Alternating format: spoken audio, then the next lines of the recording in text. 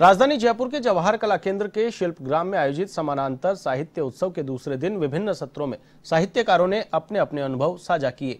प्रगतिशील लेखक संघ के मुख्य संयोजक ईशु ईश मधु तलवार ने बताया कि इस फेस्टिवल के दूसरे दिन कवि राजेश जोशी और कहानीकार जितेंद्र भाटिया समेत अनेक साहित्यकारों ने भाग लिया।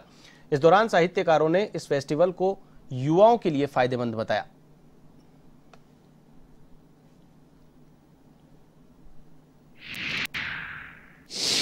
जो समानांतर साहित्य उत्सव, यानी पैरेलल लिटरेचर फेस्टिवल जो आयोजित किया जा रहा है, उसका ये तीसरा संस्करण है।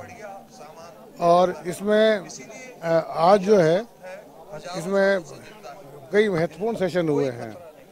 देखिए, हमारे समय के जो बहुत शीर्ष कहानीकार और जो कवि हैं, वो यहाँ पर आए हुए हैं। तो कुछ लोगों के हमने उनकी ज़िंदगी पे, उनकी रचनाओं पे बात कराई है।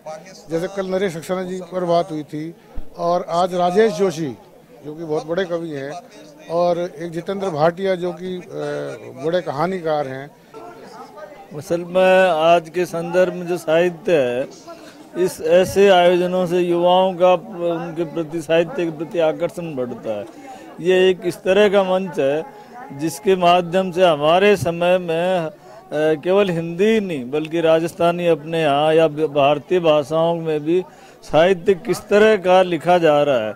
तो विभिन्न भारतीय भाषाओं के बीच जो साहित्यकारों का परस्पर संवाद है वो संवाद होता है और हमारे पूरे देश के संदर्भ में साहित्य की जो समस्याएँ हैं या और तरह की कुछ चीज़ें होती हैं, उनको समझने का एक अलग तरह का मौका इसके माध्यम से मिलता है। और विशेष रूप से युवाओं का पूछा तो मुझे लगता है कि युवा पिछले तीन, तीसरा है ये, तीन साल से मैं देख रहा हूँ कि युवाओं का लगातार इसके प्रति आकर्षण बढ़ रहा है।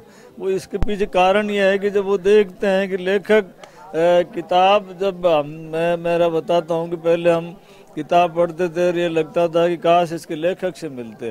तो मिले तो कैसा होगा? और इसी मंच पे जब वो देखता है किताब भी पढ़ता है और वो लेखक को भी देखता है तो उसको अच्छा लगता है। और एक नए तरीके से जीवन को देखने